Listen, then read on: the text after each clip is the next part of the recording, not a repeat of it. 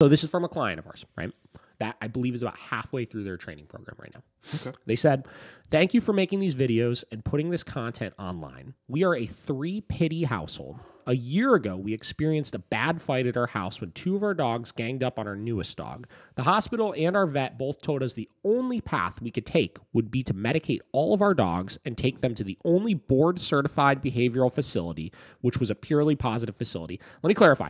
The only board certified behavioral facility, meaning what all these people are talking about, if this is the top of the food chain, as far as if you are having serious problems with your dog, this is the absolute best person you can go to per the 17,000 scientific research studies that they've done mm. and all of the vet board, this and that. This is the person they are talking about. This Yep. is not somebody pretending to be the person they talk about. This is, Is. the fucking person. Yep.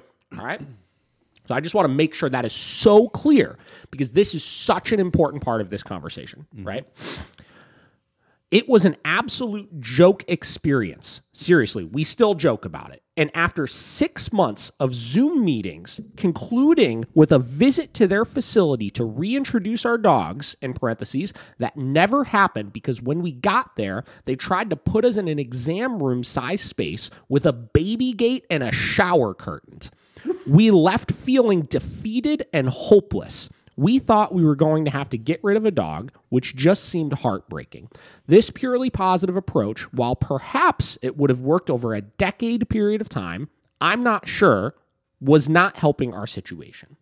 Learning through Miracle K9, thank you, Bridget. They said this is one of Bridget's clients Let's go. a balanced approach to training through effective use of tools, e-collar, slip leash, crates, and beds, as well as treats and praise, has completely changed our household to a positive, respectful, structured place in a very short period of time. Bottom line, we have quickly learned how to communicate with our dogs and quickly change behavior so we all can get along. It has been a miracle, really has. Keep up the great work, not only training, but making these videos and putting this content online. You all are really making a difference.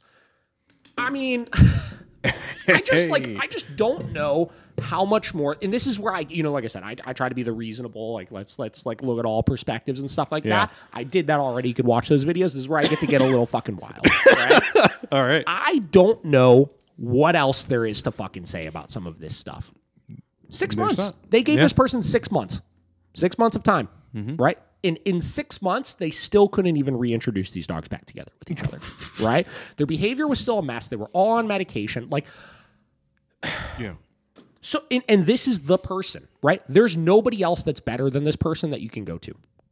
So you're ta- so so th- this person is halfway through a program, which is five weeks, guys Yeah. in just over one month. Is it perfect? No. But again, I've said this a gazillion times. We are not chasing perfection, right? I am not chasing every dog with absolutely zero problem issue, 100% totally thrilled and happy to be coexisting with the other dogs in the house and this and that. I am chasing this owner has control over their house again Yeah. the emotional well-being of the human being right? Exactly. and these dogs are 10 times more well behaved which means that any stress that they were feeling from all of the franticness and hecticness of the household and that responsibility excuse me for them to control everything going on in the house on the dog's end mm-hmm. is no longer there right? Yep. are they a little stressed still? Maybe. Do i give a shit? No. Because guess what? Serious fights. Owner was injured in the fight that happened. Dogs mm. had like $7000 in vet bills that they had from that and Yeah. and they have peace now. They have peace. Mm-hmm. And we're not a fucking board certified veterinarian behaviorist the only one in the fucking city. This I, like i just don't know what else there is to say about it. I don't know how any trainer out there that is against what we do can look at that and be like you're still wrong. Yeah. and this is not me even saying like fuck this other person right or or or or i care if you try to like if you're happy with the results you're getting going to one of those places Merry Christmas. I'm happy for you. You know what I mean? Like, go for it. You are so welcome to do whatever it is that you want to do, right? But mm-hmm. this person tried it for six months, and knowing this client, they are a very, very dedicated, willing participant. They do what they're told to do. Yeah. Like, like they're wonderful, wonderful, committed dog owners. Yeah. And six months, I'm not saying it couldn't work down the road, like he said, but in six months, they didn't get anywhere. They got nowhere imagine, in dude. six months. And in five weeks, Yeah. You got them all back in the same room. I don't know, man.